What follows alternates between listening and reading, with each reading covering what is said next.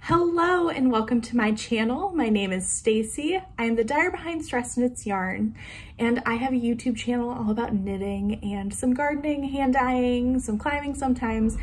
And I am coming to you with a much requested video. This is the half and half triangles wrap tutorial. This is a free pattern by Purl Soho that has really gone through the knitting community in the past two years and I have certainly caught the bug. I love it so much. It is one of my favorite things. I will always have it on my needles. I'm currently working on number five in July of 2022.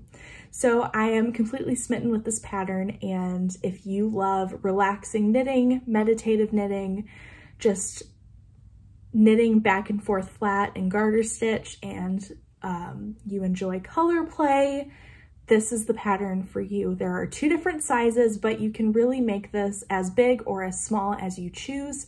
It is a recipe.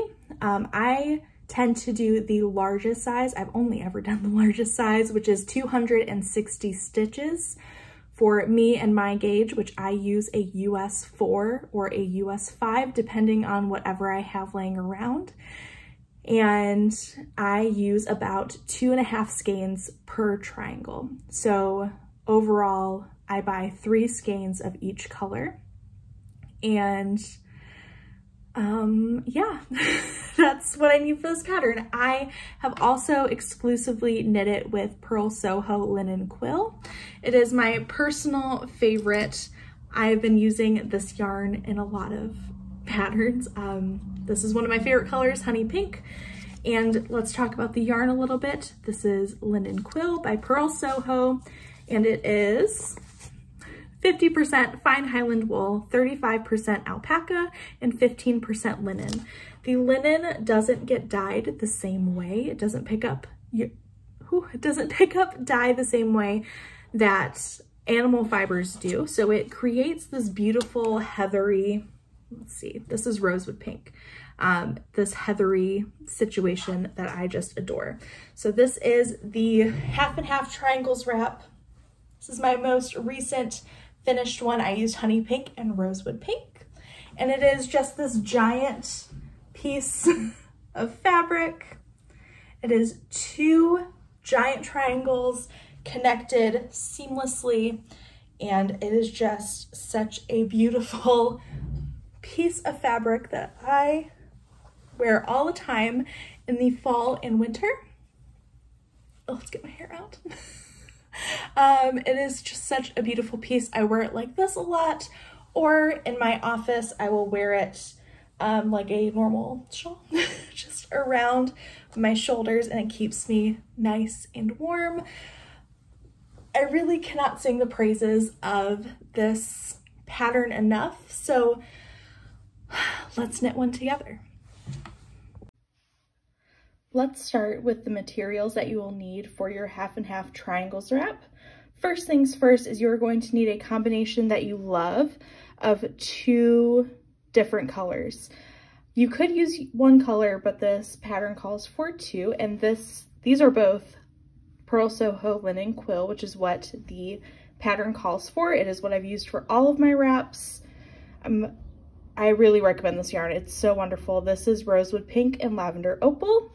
Next, you will need a stitch marker for keeping place and where you are. And then I suggest having a progress keeper. This is a perfect way to let you know which is the right side of your work. That will become important later on in the pattern. And then a needle that you love working with. I love Addi Turbo Rockets, or just Addi Rockets, I think they're called. And these are my preferred needle. I have them in every size. I tend to use a US 4 for this pattern. I've also gone up to a US 5. I'm a very tight knitter. So go with a needle that you love, that you're going to want to work with for a very long time. And I also suggest that with your yarn color choices as well. This is a pattern for comfort and a pattern for really enjoying the process of knitting. So choose materials that are going to make you happy for months or even years to come. Now that we have the materials out of the way, let's get started.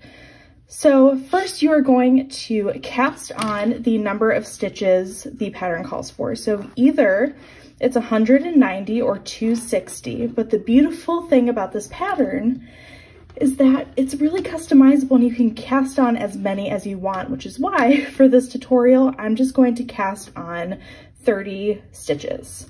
So I use the long tail cast on method. I'm not going to do a tutorial for the cast on method. I'm just going to do it right now. So one, two, three, four, five, six, seven, eight, nine, 10, 11, 12, 13, 14, 15, 16, 17, 18, 19, 20, 21, 22, 23, 24, 25, 26, 27, 28.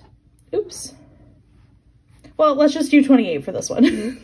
That's fine because I don't have much yarn left. So you're gonna cast on as many stitches and then the first row, row one, which is the right side, you are going to just knit to the end of the row. Pretty straightforward. So you're going to just knit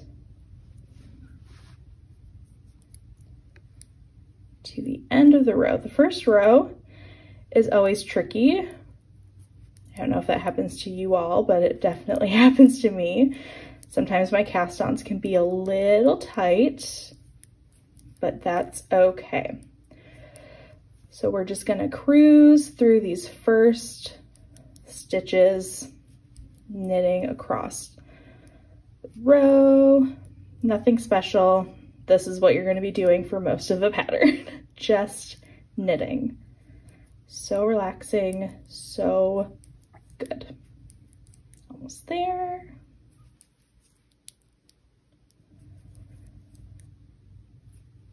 Okay, last few stitches. Oh no, okay. Always a little tight at the end. All right, so I've knit across the row. Then you're going to turn your work, row two, so your wrong side, and you're going to knit to the last three stitches. So let's do that together. Just going to knit to the last three stitches. I know some people prefer to slip the first stitch or two to create a nice rolled edge. That doesn't matter to me. I just want to knit. I don't want to think about it. I just want to go. So I don't do that. But if you want to, that is totally up to you. That's why I love this pattern. You can do whatever you want all right, almost there. Second guessing the number of stitches I cast on now, but here we go. So the last three stitches. Then you are going to place your marker, knit one, wrap and turn. So I do the wrap and turn like it calls for in the pattern. So how you do that, bring your yarn to the front, slip the stitch as if to purl. Bring the yarn to the back, slip the stitch back onto the other needle, your left needle, turn your work,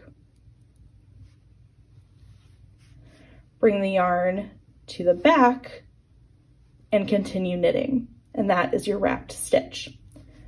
So you wrap and turn, and then row three, you're on the right side again, and you knit to the end of the row. I don't know if you guys can hear the freighter in the background. I live close to the Detroit River, and you can sometimes hear the freight, which is kind of awesome. I just love that sound. It's the best. So we're just knitting to the end of the row.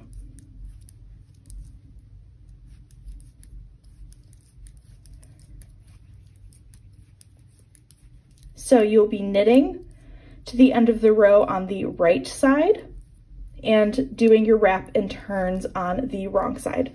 So this is usually when I will take my progress keeper.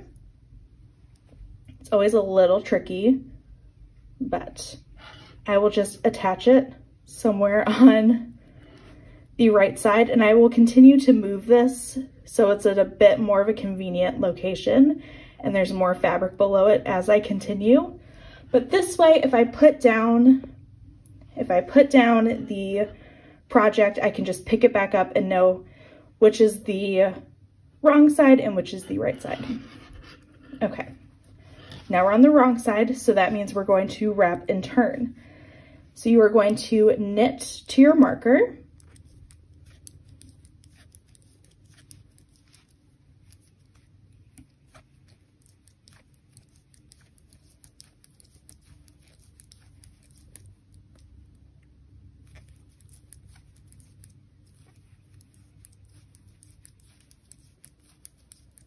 Almost there.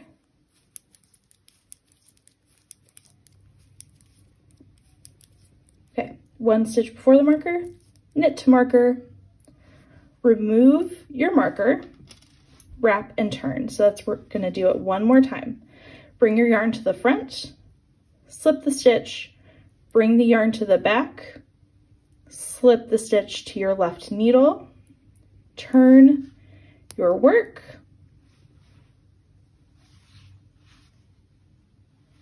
bring the yarn to the back. So we've wrapped our stitch and now we're going to knit one, place our marker, and knit to the end of the row.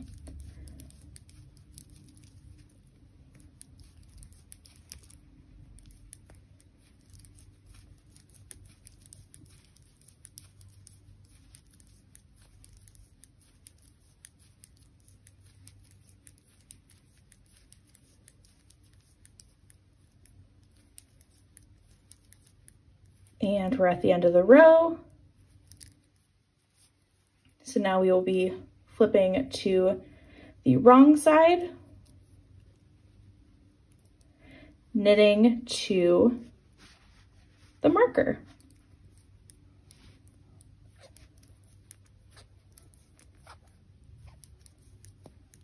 See, this is not as scary as it might sound. Wrap and turns can be a little intimidating, but that's okay. Once you get the hang of it, it will just be second nature. And if you prefer German short rows, you can do that. I will link to two tutorials that I think are amazing for German short rows if you would like to follow that method. Okay, so knit to marker, remove your marker, wrap and turn. So we bring our yarn to the front, slip as if to purl, bring your yarn to the back, slip back to your left hand needle, turn, bring the yarn to the back, knit one, and place your marker. And knit to the end of the row. And that is the repeat. You will do across all of your stitches until you have two stitches left. And so you are going to meet me back there when you are ready, which might be a long time from now, and that's okay. Oops, and sometimes that happens too. And you just pop your stitch back on and finish out the row. No big deal. So you'll see the rows on this side get shorter as we go along. So I will meet you when you are on the next line of instructions, which is uh, repeat row four and five, which is what I've been showing you, until you have wrapped every stitch except the last two ending on a row five, which is your wrong side no, your right side when you knit across the stitches. So then you will meet me back here when it looks more like this, like a triangle. And we will do the next set of instructions together. A little movie magic here, we're switching colors. This is Pale Mushroom, it's also Linen Quill. So you're coming back to me when you have your stitch marker in between the last two stitches that have not been wrapped and turned. So you will have not wrapped or turned only two stitches. Everything else should look like this. And you will see it is in a triangle because this is a half and half triangles wrapped, so you have two triangles. So we are finishing up the first triangle. So the next instructions are to, let's pick this up. We're going to knit one,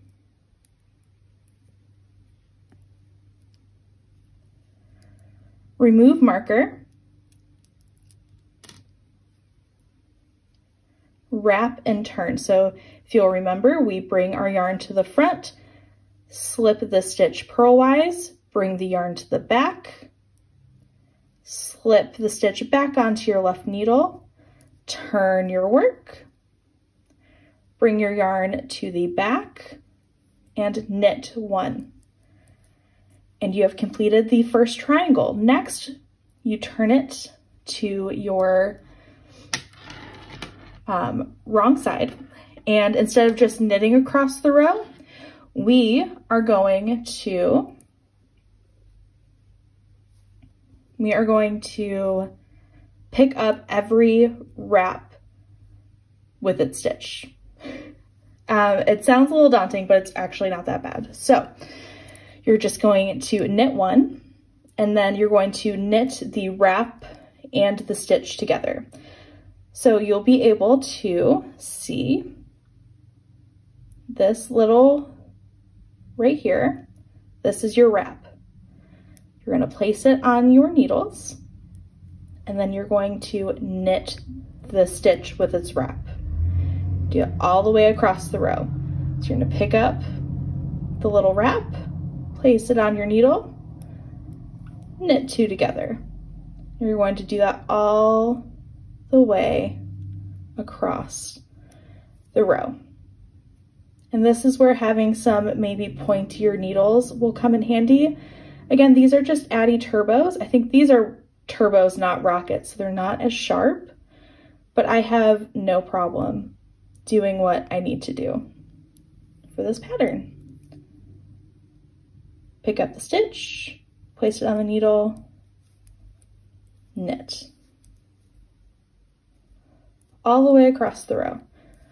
When you're knitting the largest size, the 260, this row takes a little bit of time, but by the good part is by the end of that row, you will be a pro at picking up and knitting your wraps. It is, it sounds scarier than it is, right? This doesn't seem too bad. You just pick that up, put it on the needle, knit together. Pick up, on the needle, knit together.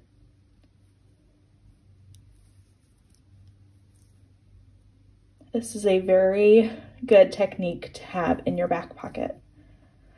This is also why people will use the German short rows because that is a simpler, less step kind of process, but I love the way the wrap and turns make a ridge. I think it's amazing. We're almost done. Here we go. Pick up the stitch, place it on the needle, knit together. Pick up the stitch, place it on the needle, knit it together go. Oh, I just love this project so much. It's so much fun, even on a mini version. Okay, so just talking to talk. Last few stitches. Going to pick up, place on your needle, knit together, and the last stitch doesn't have a wrap. So you just knit that one. And you're at the end of your first color. So you will break your yarn. And there is your first triangle. Now for the transition. So now we're going to take our color B. This is Bright Flamingo, Purl Soho Linen Quill, Pale Mushroom. I also added my right side stitch marker. I realized I didn't have it on this sample. So now we're looking at the right side of our work and we are taking our second color. Oops. And now we're going to join it. I have a little tangle, I'm not gonna mess with it. Okay, so we are going to join the second color. So row one, right side, right side. And we're going to just knit across the row.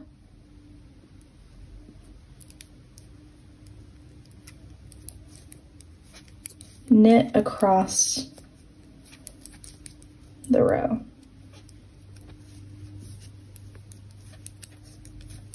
Nice and easy.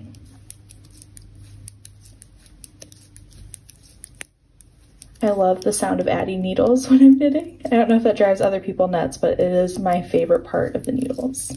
Such a good sound.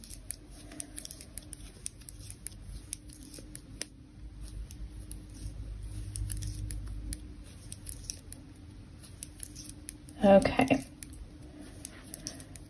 And then you're going to turn your work once you get to the end of the row to the wrong side. And we're going to knit across the row again.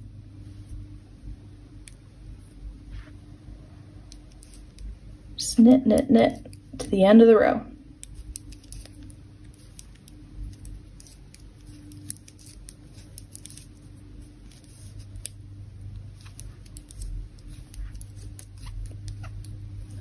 There we go. Now, we are going to start going back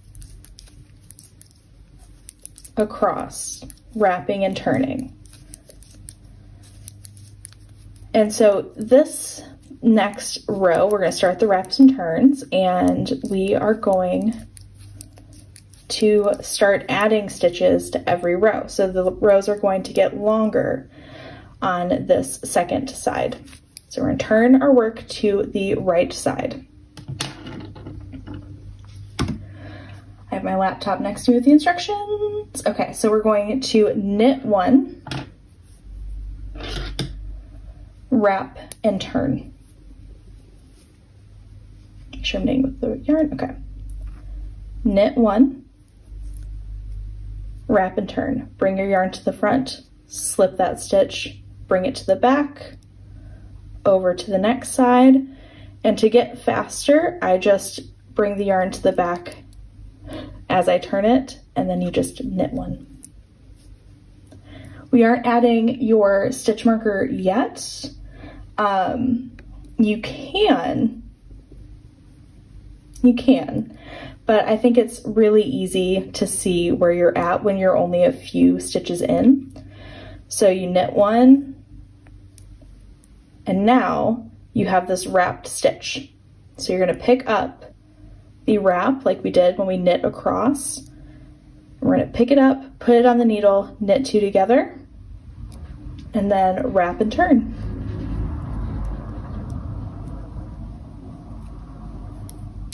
On the wrong side, knit to the end of the row. Back to the right side. You're going to knit to your wrapped stitch. It's one and two. Your wrap stitch, you're gonna pick up your wrap, put it on your needle, knit two together, wrap and turn. Yarn to the front, slip that stitch, yarn to the back, slip the stitch back to your left hand needle, bring the yarn to the back, knit to the end of the row.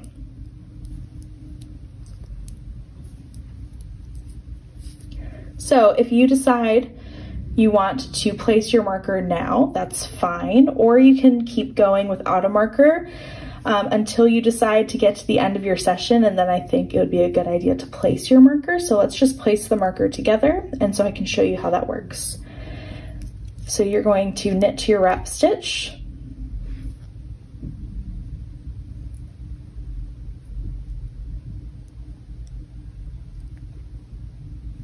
Pick up your stitch, knit them together, and then this is when you'd place your marker.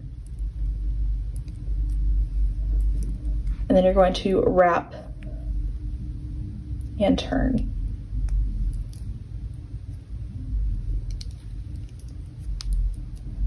Then you're going to knit to the end of the row.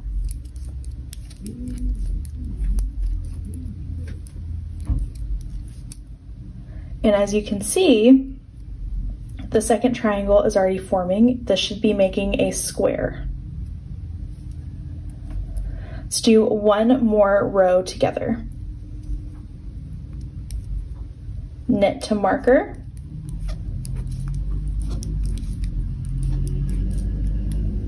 Remove your marker. Pick up that wrap. Put it on the needle. Knit them together. Place your marker. Wrap and turn. Bring the yarn to the front. Slip that stitch.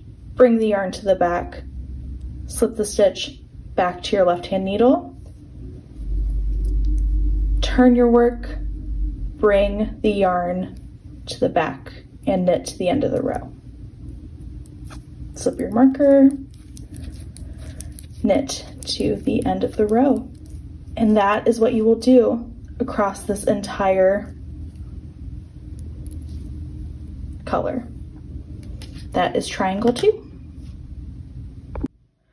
Okay, so you should be able to make it through the rest of the pattern with the information in this video. I am just so excited to share this information with you and I hope it was helpful.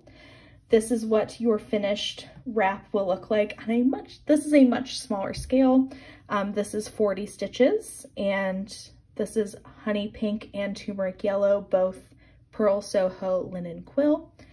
And this is why I love the wraps and turns. I love this ridge that that makes. I just love it so much.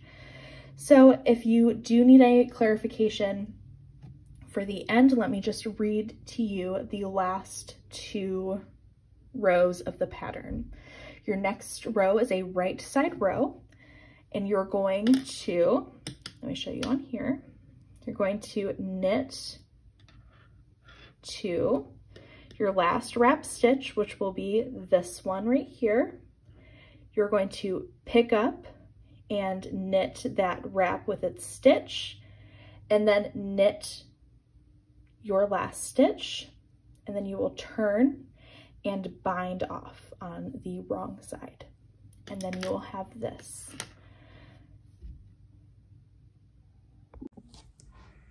And there you have it. That is the half and half triangles wrap tutorial. I'm sorry it took so long to get this to you, but I hope this was helpful.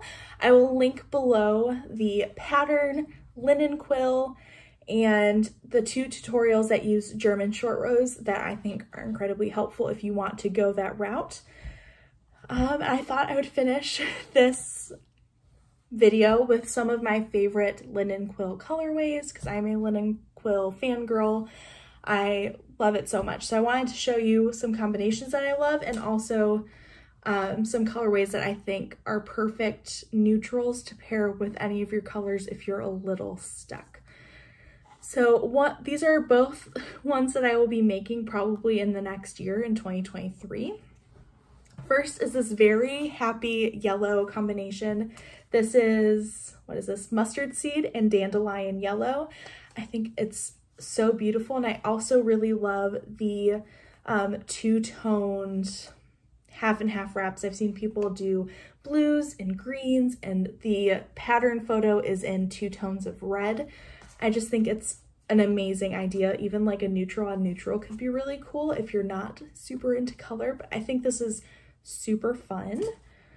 And then the one that I'm actually going to be knitting next is turmeric yellow.